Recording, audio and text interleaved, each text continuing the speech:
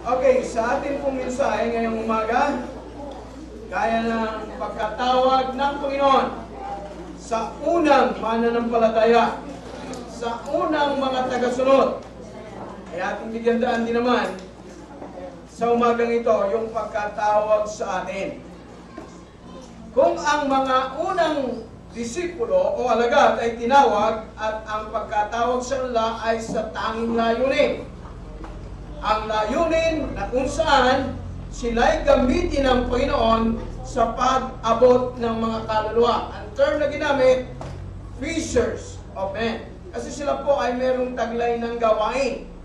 Ang gawain nila, kumakot ng mga isda sa dagat. Mga isda. Ngayon, ang tawag ng Panginoon sa kanila ay mas kakaiba. Ang tawag sa kanila ay mangalap naman ng mga kaluluwa para sa kanyang kaharian. Yan.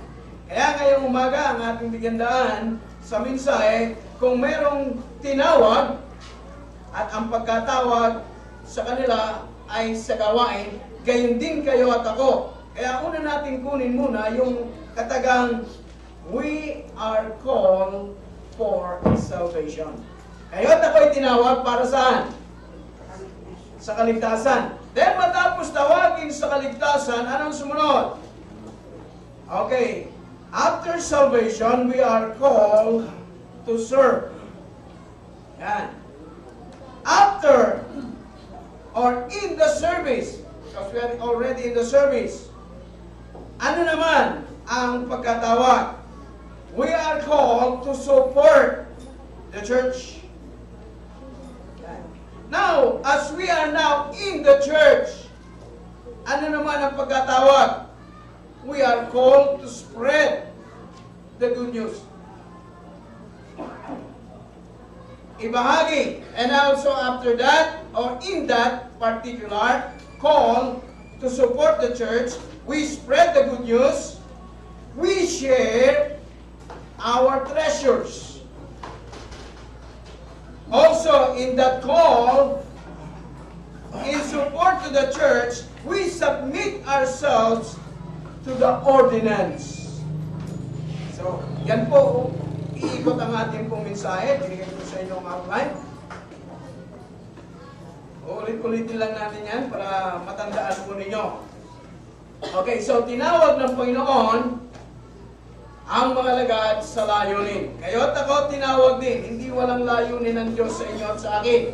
Kaya kung tinatawag na kayo ay anak ng Diyos, Krisyano, at nahandang paturo, ito po ang mensahe sa atin. Una, we are called for salvation.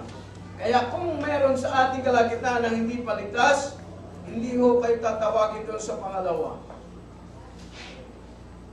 Ano ibig sabihin natin? Una, ang pagtawag ng Diyos ay sa kaligtasan.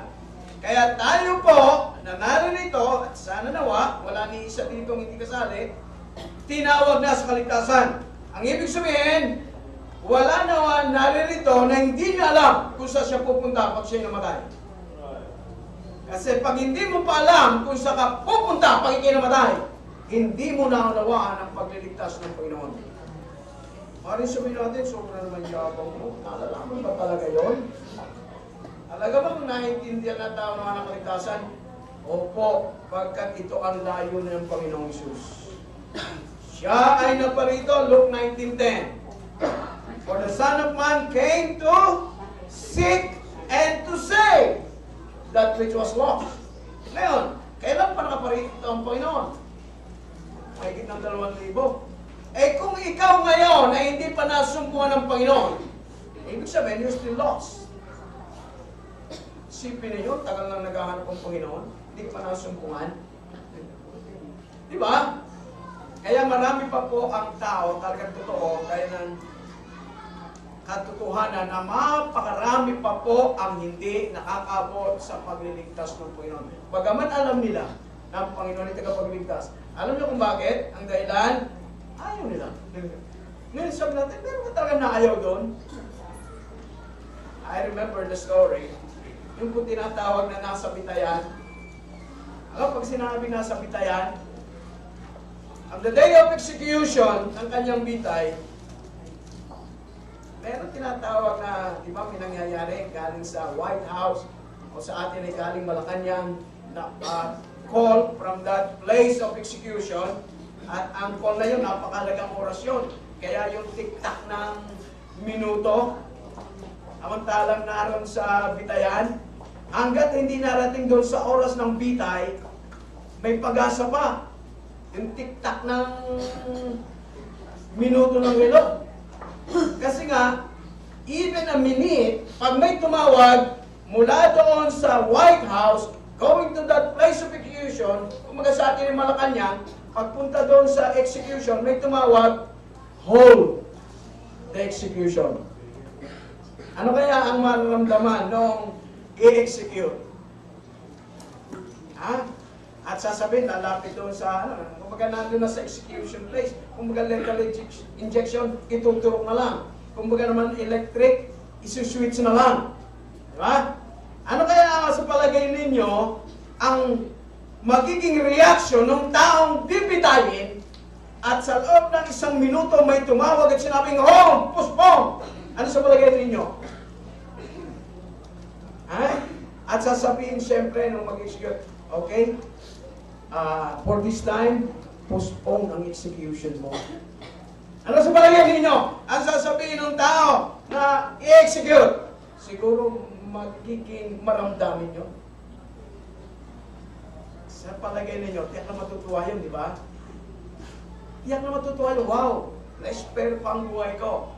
Another opportunity to live, ika nga. Pero alam nyo, yung mga story na kinukwento ko, sa halip na natuwa yung i-execute, hindi siya natuwa. Ano sa palagay ninyo? Siyempre pa, isa tendency ng mga nasa executioner. Tawag agad ng doktor, psychology agad. Neuro, ayan. Tingnan ang ulo kung matino nga. Pero pagka napatunayan matino naman, maayos naman. Ano susunod na titingnan? Ang susunod na titingnan nila, tatawagin naman nila, abogado. Bakit? Sisiya sa atin yung batas. Halimbawa, mayroong hindi umayon sa postponement ng bitay. Ano ang susunod na reaksyon? Diba? Kita nyo, kaya una, doktor ang titi, ah, tatawagin. Titingnan kung may sira ang ulo. Kasi tumanggi sa kanyang ika nga i-postpone ng kanyang execution. Eh, siya sa atin, ayos naman. Ngayon yung batas. Ano ba nasa batas? Pag tinanggihan ba ito, ano ang pwedeng ang mangyari? Itutuloy ba? O ipopostpone? Ba, inumaripisa pala ang batas, kung sino man daw tumanggi ng pardon o postponement sa execution, ayon pala sa batas, tuloy. Ba, matindi pala, no? Tuloy. Kasi ano nasa isip ng marami? Wala daw tatanggi saan?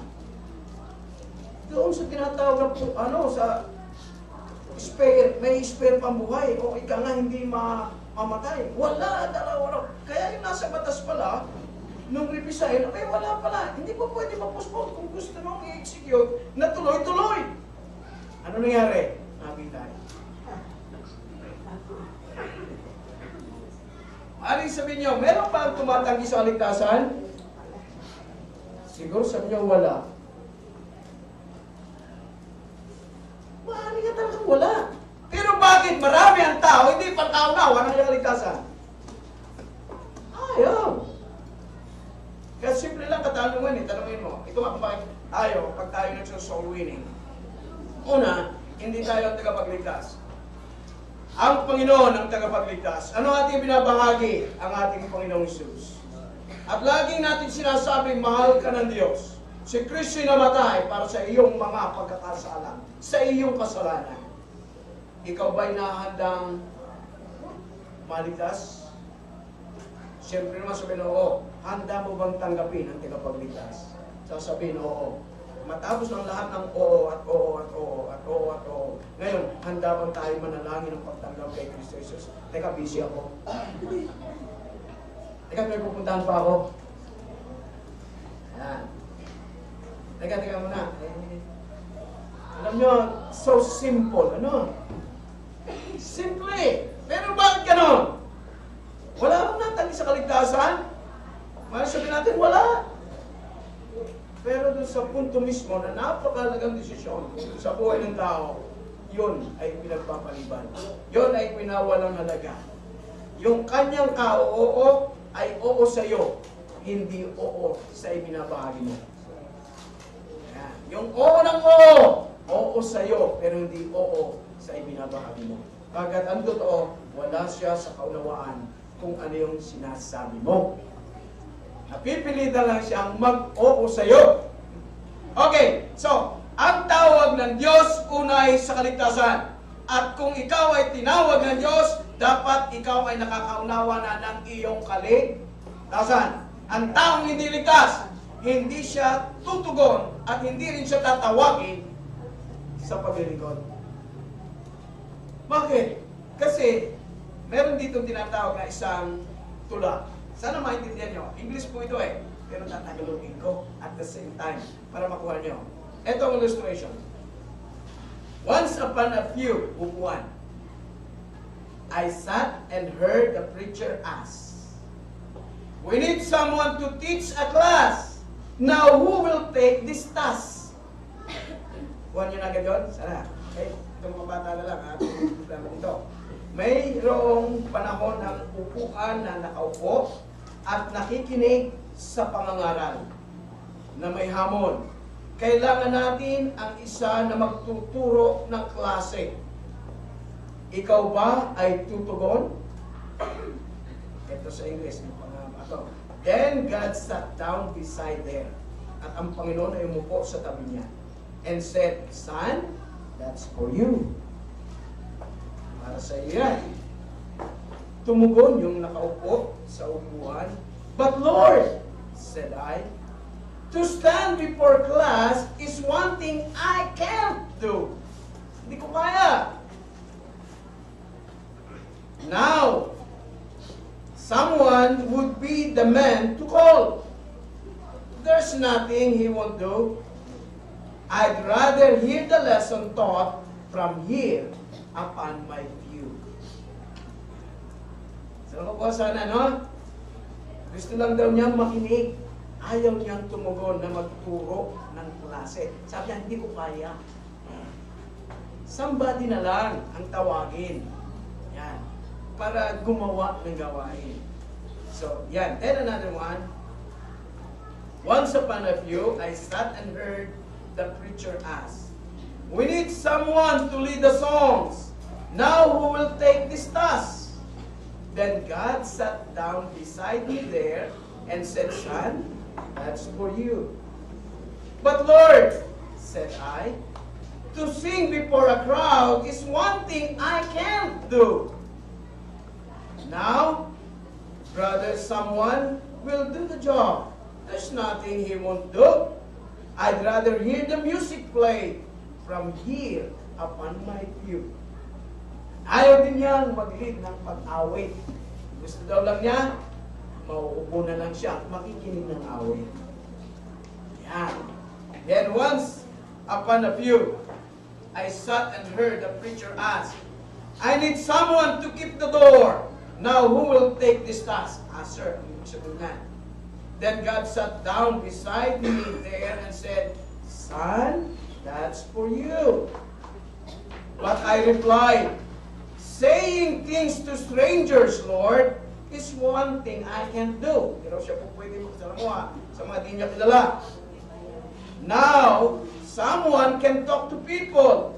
Lord, there's nothing he won't do. Hindi niya, ah, kaya-kaya niya ng someone na hindi, maaaring hindi niya kaya.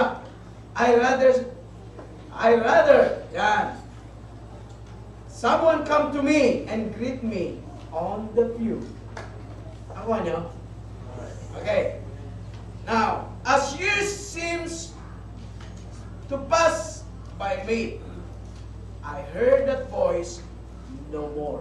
Hindi na niya naman mapakinggan ang tinig. And God said, oh, before that, until one night, I closed my eyes and walked on heaven's shore. Yan. And God said, I need you to do a job for me. But, oh Lord, I cried. I miss that. Huh? I miss. Ano yung sabihin niyan? Is one thing. Sa totoo, ang ligtas lang po ang makapaglilingkod. Oo, maraming paglilingkod. Kung kayo ay nasa politika, pwede kayo maglingkod kahit kay mangurakot. Pero yung paglilingkod sa Diyos, mga ligtas lang po. Ang taong hindi po ligtas, hindi yan makapaglilingkod. Bagaman sinasabi nila, naglilingkod sila in the way, in the capability, and the capacity they have. But saan sila naglilingkod? Kasi ang naglilingkod sa Diyos ay mga iniligtas ng Diyos. Ang hindi ligtas, kahit anong kuyakot, term ng Tagalog. O iyong ika na ginagawa, iniisip mo lang, ginagawa mo sa Diyos. Pero sasabihin ng Diyos, hindi ko kayo nakikilala. Magsilayo kayo sa akin, kayong manggagawa ng katapasan. Ang paglilingkod po ay para lang sa mga iniligtas ng Diyos.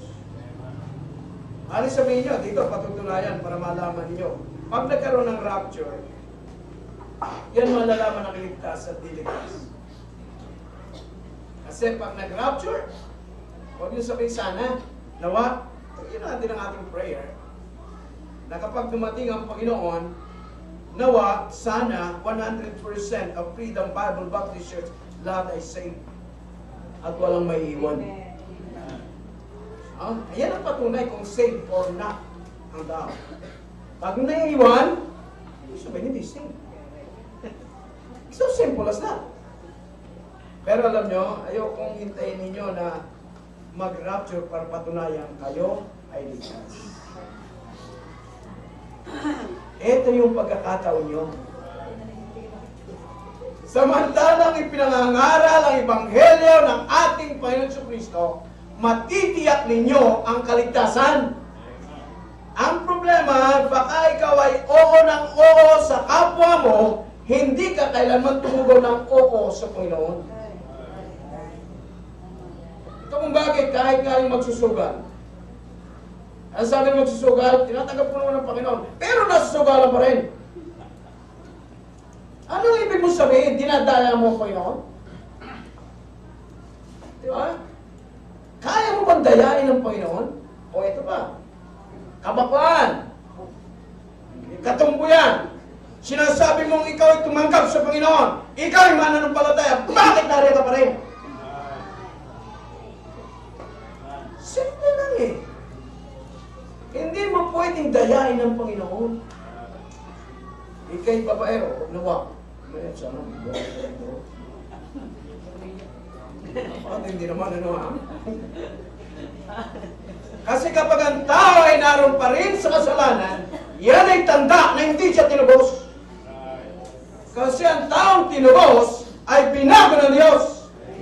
Kinilos ng Diyos. At gaya ng panawagan ng Diyos, hindi ka lamang tinawag sa kaligtasan, ikay tinawag sa paglilingkod. Kaya in the service, you need to see yourself. Ano ka? At ano ang kalalagayan mo sa paglilingkod. So dire-diretso lang po tayo. In the service, we support the church. Paano natin sinusuportahan ang church? Gaya ng aking sinasabi po, kung paano minahal ng Diyos ang kanyang kalipunan. How the Lord really love His church. Kaya nga, sabi ng Bible sa Ephesians, ibinigay ng Panginoon Kristo ang kanyang sarili sa church.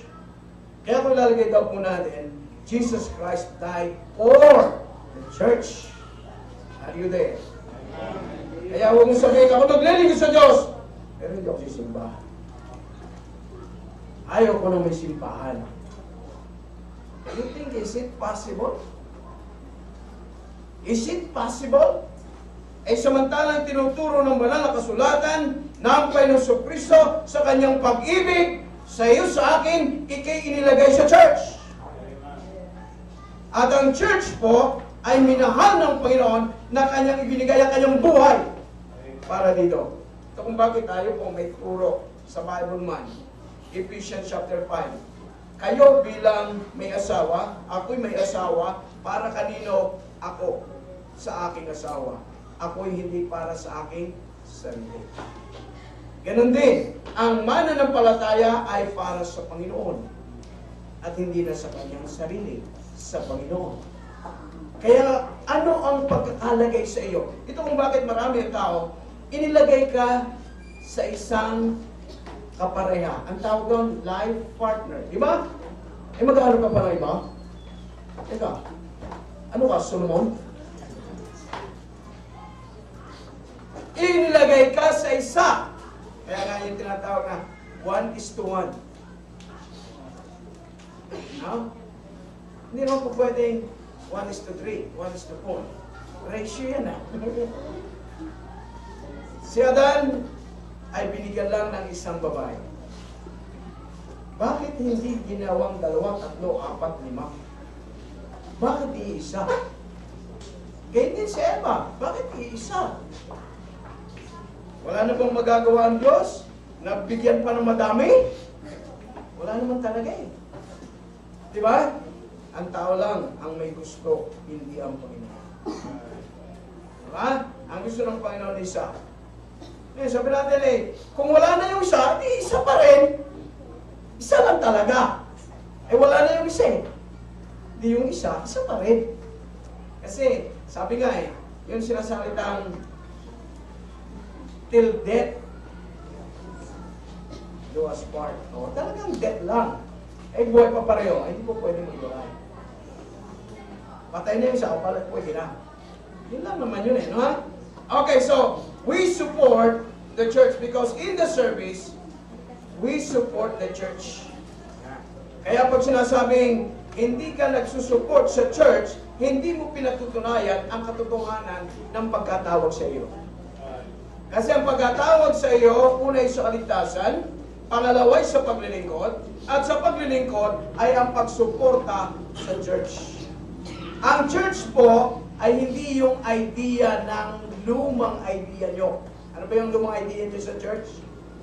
Simbahan, sumimbat hindi, naandyan yan. That is all connotation ng church. Ang church po ay hindi yung old idea mo. Ano ba yung old idea mo? Sumimbat hindi. Pero alam niyo ba, ang church ng Jesus, ayon sa biblical, ikaw yun. You are a part of the church. Hindi yung pinupuntahan na naandun yun. No? Kaya nga pag sinabing church, yan po yung mga mananampalataya na tumanggap na ng palataya, one Lord, one faith, one baptism. Yun po yung church. Kayo yun, ako yun, na particular member. Kung baga sa katawan, lahat tayo, maaring isa sa ating tenga, isa'y mata, no? Bahagi ng katawan o kamay o daliri. Yun ang ibig sabihin po niyan. Hindi yung idea, ay, sumimbat hindi. Ito kung bakit ang tao po mahilig sa convenience. Ala, basta ako ay, saan ba meron yung, ano, merong nangangarap, kung hindi naman kay Kristo. Ah, doon sa may sinihan, doon na lang ako pupunta. Pero hindi naman nangangarap doon. Yung pagkalabas, di punta na ng sinihan. O kaya, yung idea ng fellowship po yun. no? Idea ng hindi church idea yun. Kasi, bagaman totoo, at this very biblical, wala naman tayo nakitang ginawa ng Panginoong simbahan, no? Yung mall. Is there any mall na ginawa ng Panginoong simbahan? Is there any? Sige, baka kung puno sa kalaman.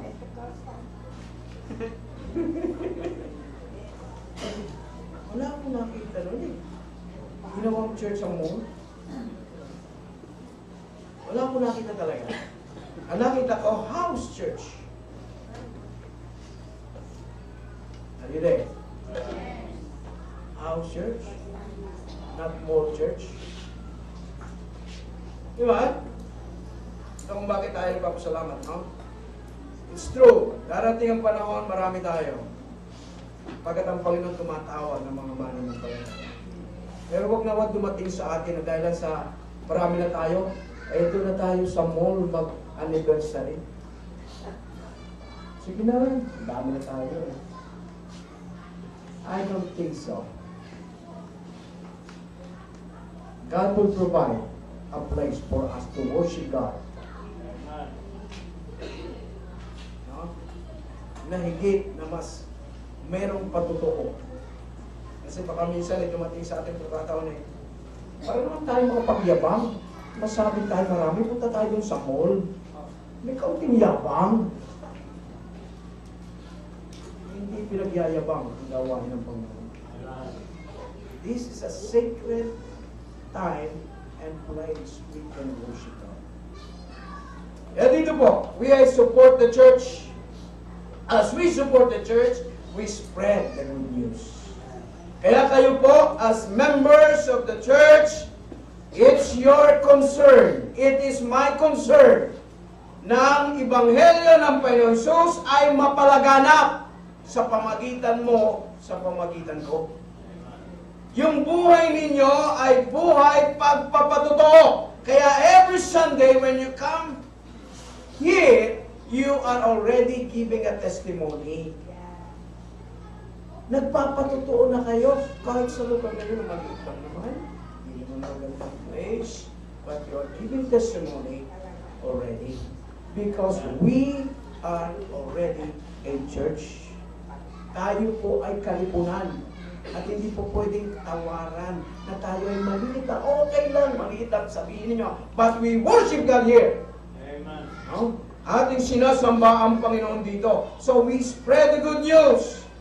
Yan po in support to the church. Na ang church ay ano? Pinili ng dugo ng ating Panginoon. Kaya kapag hindi natin siya yung puso yan, ano ba yung church? Okay, pag-aralan natin, matutunan natin. Ang church para, binili ng dugo ni Kristo Jesus. Yes. Wala pong binili ng dugo maliban sa mananampalataya na binuo ng Panginoon ang ginawa niyang church. Yan pong binili ng dugo ng Panginoon. Napakahalaga po niyan. Ito kung bakit mamaya pong gabi, aalalahanin natin ang banal na punan. Kasi dalawang ordinansa lang po ang binigay ng Panginoon sa church. Dalawang mahalagang ordinansa. Una, ang lahat ng nampalataya, bautismuhan sa pangalan ng Ama, ng Anak at ng Banal na Espiritu. That is your first step. Okay? Matapos mo ng palataya, you are now, yan, member of the church. At ang susunod yan, ang pagganap ng banal na hapunan. Bakit? Sabi ng Panginoon, hindi na siya kakain ng tinapay at inom ng katas ng ubas hanggat hindi nakasama sa kalwalatian. Kaya napakalaga po yan. At mamayang hapon po natin gaganapin yan. No? Ang banal na hapunan. Kasi kaya banal na hapunan po, kaya sa hapon, hindi sa almusal. Okay, so we share the good news. And then ito po. Uh, we spread the good news, then we share our treasures. In the word treasures, kayamanan po yan, di ba? Kahit po yan ay 10 piso, kayamanan po yan. 20 pesos, kayamanan po yan. 50 pesos, kayamanan po yan. Eh kahit nga yan ay piso, kayamanan po yan. Pero kalimitan yung kayamanan mo eh. Sabi nga natin, maliit o malaki. Hindi natin pag-usapan dyan. Kaya mong i-share po yan. Ayan. Ito, bihira lang marinig nyo dito. Walang problema sa naturuan na at ginagawa nito. Pero sa hindi pa naturuan at hindi pa nagagawa, medyo acid test pa rin ito. Ang tawag dyan ay tithes and offering. Acid test pa rin ba sa iyo ang tithes and offering? Ibig sabihin, hindi ka nagta-tithes, hindi ka nag-offering. So, acid test, ano ba yun? In support to the church, we share the good news. And we spread the good news, but we share our treasures. Kaya pag sinabing we share our treasures, I believe in God will provide everything I need. I believe in Malachi 3.10. Amen. Ano ba yung nasa Malakay 3.10? Bring ye all the tithes. Dalahin mo ang ikasampung bahagi. Hindi, malaki kita ko. Kumikita ko ng 50,000 eh. So magkano ang tithes na? 50,000 kano? May 5,000. Oh, malaki-laki yun. Ko yun. Kala ko mga pagin na 1,000. 1,000 na lang. 50,000, hindi ko kaya yun. 5,000. 1,000 na lang. Tumalaki na rin. Yung mga nagbibigay piso lang eh. Ako 1,000 eh. Oo, huh? kala mo, nakaano ka? You are not obedient to God. You are not obedient to God. Alam mo, okay na yun? Kasi may nagbibigay ng 5 piso nga 10 piso. Ang Panginoon hindi nakatingin doon sa laki ng ibinibigay, kundi doon sa aral at turo na tinanggap mo. Kaya mo bang pagtiwalaan ng Panginoon sa tithes? Hindi mo yata kaya eh. Eh di lalo hindi mo kayang tagapin yung sinabi ng Panginoon, bubuksan ang durungawan. Masalamat ka, hindi pinto eh. Bakit? Anong kaibahan ba ng pinto at durungawan? Tawag natin sa durungawan, bintana. Bakit bintana? Bakit durungawan ang binuksan? Kasi yung pinto isa. Yung bintana marami. Salamat ka. Diba? Kaya ang Panginoon kapag magpapala, lubos. At sabi ng Bible, wala kang silid na kalalagyan. Hindi mo kaya ang pagtiwala ng Panginoon. Kaya may kita kong 50,000, tama na 1,000. You need to practice tithes. Why? Because as an obedient child, you will be blessed. Mararanasan mo ang pagpapala. Yung iba kaya hindi maranasan ang pagpapala eh. Una, may guilty feelings pa. Bakit? Hindi na ipipili kasi ang tithes. eh. So guilty talaga sila. Why guilty? Kasi alam nila ang salita ng Diyos. eh. Di ba? Hindi nakalang pagtiwalaan ng Diyos. How much more yung offerings. Because offerings comes from 90%. Isipin niyo yan, eh, lalo-lalo sa church na ito, sa sa church natin, ilan ang ating offering? Apat. Di ba? Ano yung ating offering? Faith promise and first fruit. Kaya kapag hindi mo kayang magtiwala sa Panginoon, mabigat talaga, mabigat talaga, napakabigat. Kaya sabihin mo, ang Panginoon nangungusap sa iyo, sasabihin sa Panginoon, meron na lang, si someone na lang, si someone, si somebody, siya na lang gumawa. Ako'y mauupo na lang, ako'y magpapainit na lang sa upuan.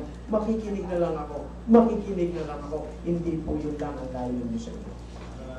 Ayon ng Diyos kayo ay maging in support of the church. We spread the good news. We share our treasures and we submit ourselves to the ordinance, which is the last one.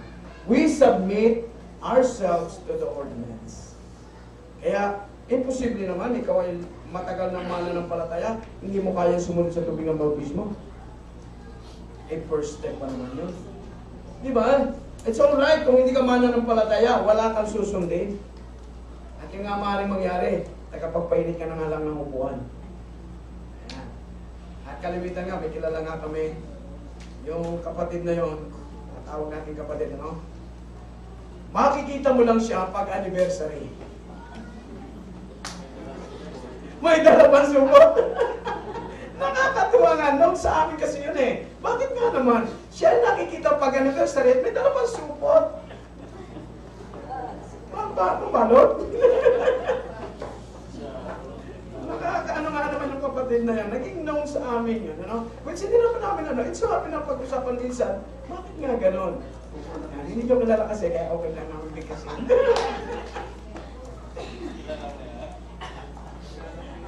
Naroon lang, ano? So, we need to submit ourselves to the ordinance of the church. The ordinance of the church, first water baptism, and then Lord's Supper. Yan lang po, iniwan ko pinansa ng Panginoon sa atin. Kaya we submit. Ang ibig sabihin, we will participate in the Lord's Supper.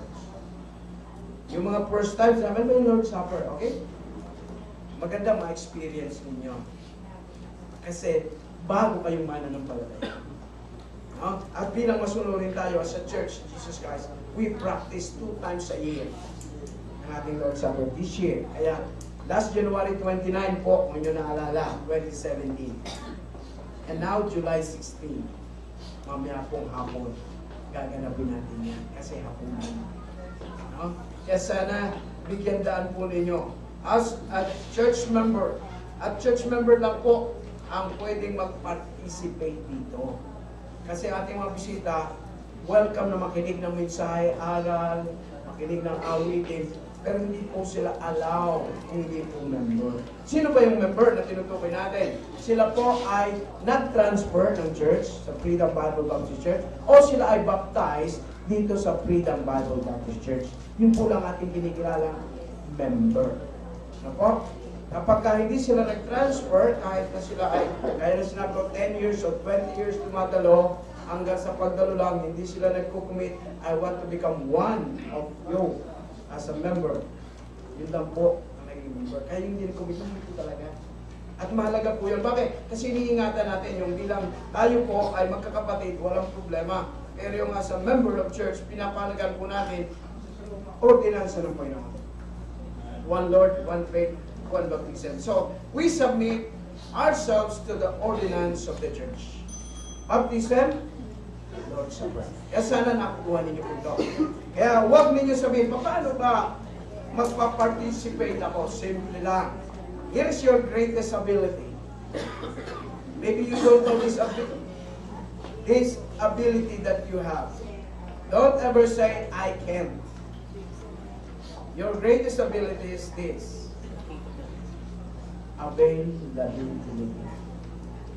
You avail yourself. That is your greatest ability. You avail yourself. Willing. Kaya nga sabi nga natin, submit to the ordinance. Kaya tayo po, magpapanalapunan mamayang hapon. Nawa, makuha natin ang 100% na tayo po bilang members willing to submit. As we support and love the church. As we love the Lord. Because we are called for salvation. We are saved to serve. Sana nakuha po natin. Tayo po'y manalangin. Panginoon, salamat po sa inyo at sa inyong salita at sa pribilehiyo